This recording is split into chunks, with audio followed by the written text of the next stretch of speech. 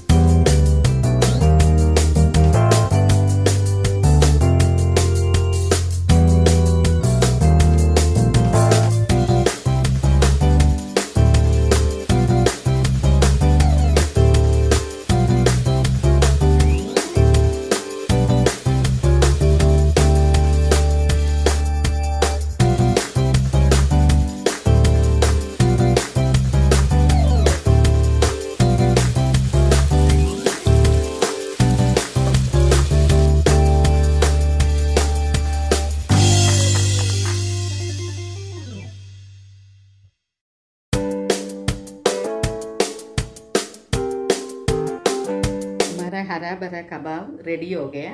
आप सब लोग ज़रूर ट्राई करना, कोशिश करना ज़रूर।